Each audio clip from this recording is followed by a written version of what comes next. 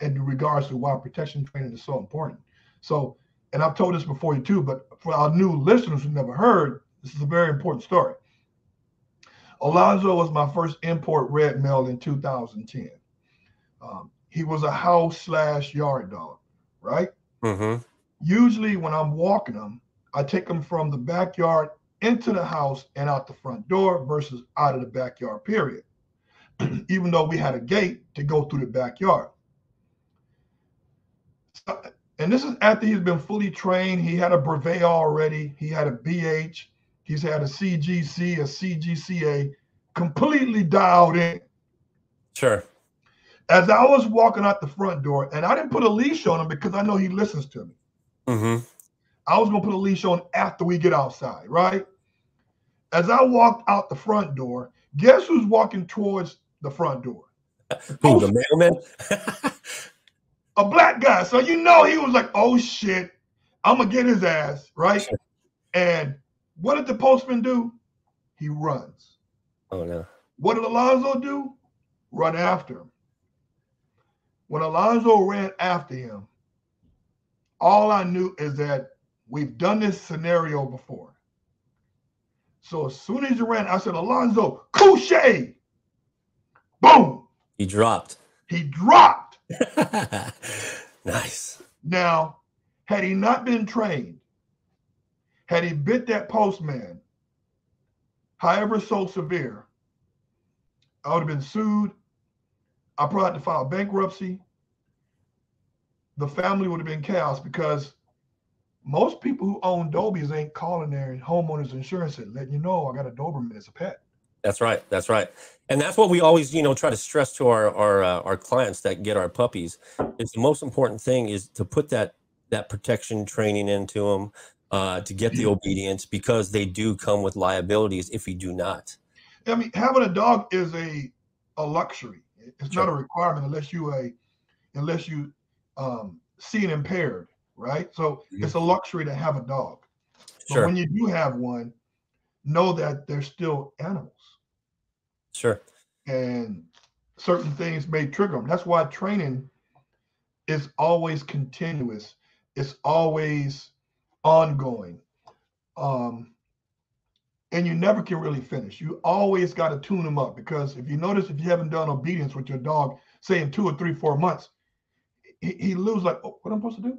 Huh? Yeah, Okay. yeah. Now I got Exact. It takes a little while for them to get reacclimated into it. Yep. right. Yeah, I see it. I see it. Now, you know, with that said, um, what is the standard uh, for you, in your perspective, if someone wanted to, you know, actually come to your breeding service, um, you know, your stud service, and breed a female with you? What standard? What you know? What actually do you look for in a female? Because I know when I initially came to you, you know, you started, you know, breaking it down to me like you need these, you know, these health tests, the DNA tests. You know, you need to do this, you need to do that what information you can give to our viewers that if they're looking to get their you know their their female bred with you what what are you looking for Well, you know, the the the awareness of these Dobermans and the genetic mutation diseases that they can inherit have become um, very prevalent and known. So that means a lot of these people who call me out, they've already had the uh, the the necessity, the, the necessary test done. So they're doing their due diligence. Mhm. Uh, there are other things they could do to improve the the litter, like getting the elbows and hips OFA certified after they're two years of two years of age, do a Holter test. Those certain things that can enhance uh, for you as to be knowledgeable about your dog, thus um, raising the the price of of the puppy because you've done extensive testing. So for me to be qualified, number one, I like to see some kind of health test, some kind of genetic test, like uh, Yeah. have there been VWD or DCM1, DCM2, DM? Have they had their thyroids, um, blood work done? Sure. Those are the things that I would like to see. Do all of them have that? 90 to 80 to 90 percent of them haven't had all of them. Mhm. They've had the VWD and the DCM, but they didn't get the Sure. DMs, right?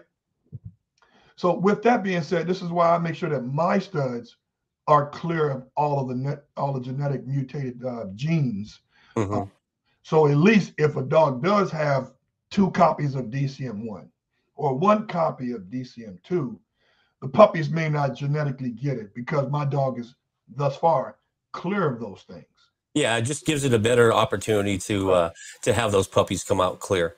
Uh, now, in your perspective, you know, with having the OFA certification on the hips and elbows and other things that you can do, like thyroids and eyes and things like that, does that ensure to have a longer health so our viewers can understand that you know nothing is guaranteed in these puppies. Anything can can happen in these dogs you know? So i just want to make sure that the perspective that you have you know and the knowledge that you have to share to our viewers does that like guarantee a longer uh, life let me tell you something we can't guarantee shit right you know um unfortunately um like alonzo he passed away at 10 years of age um, he didn't die from DCM1. He didn't die from any of those genetic mutated diseases.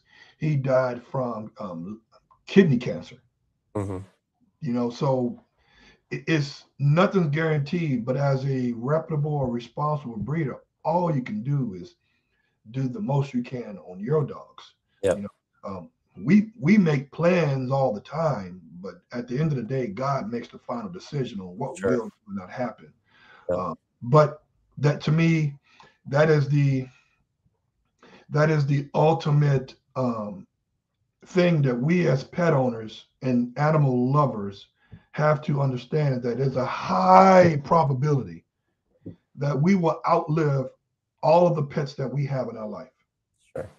And it, it's unfortunate because a lot of these pets, whether they cats, I'm a cat owner too, and dogs, they have done something to us or for us that no human can do.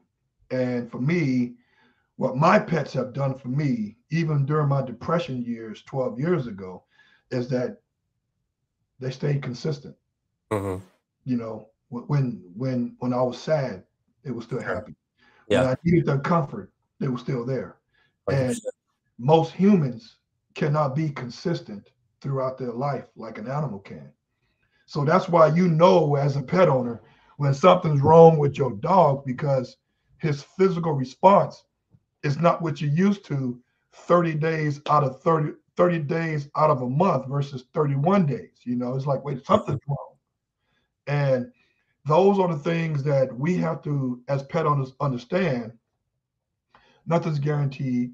They're going to go to the vet, but more than me and you go to the doctor. That's hundred percent, man. They poop wrong, they go on to the vet.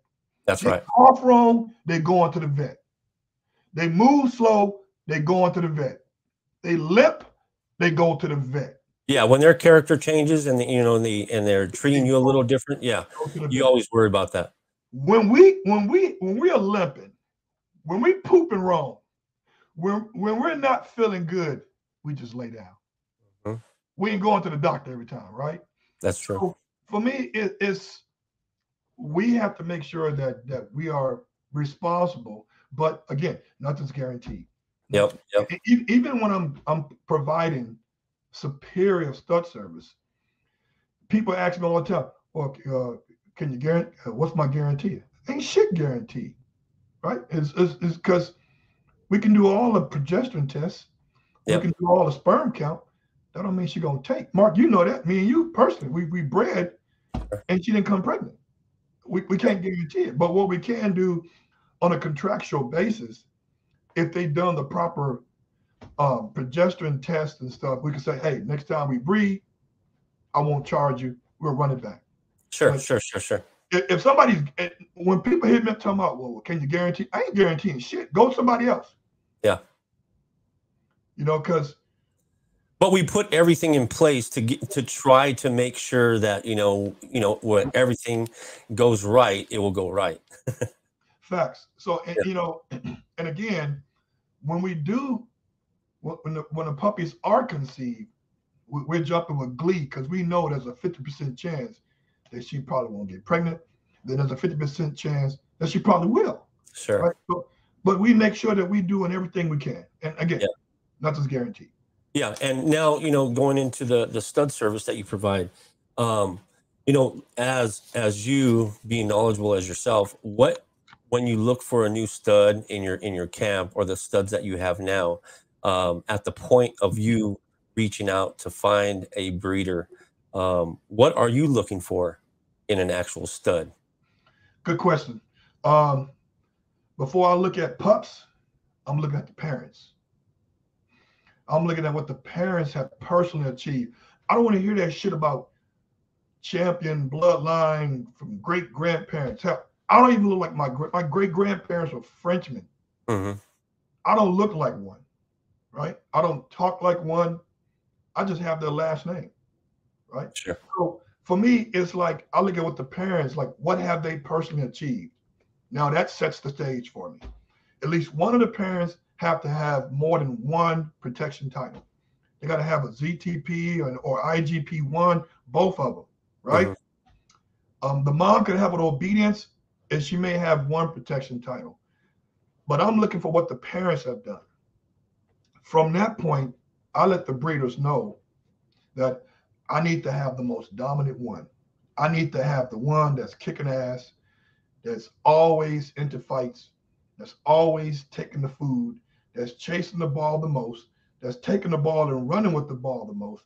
Those are the things that I want. In order for me to get into that position,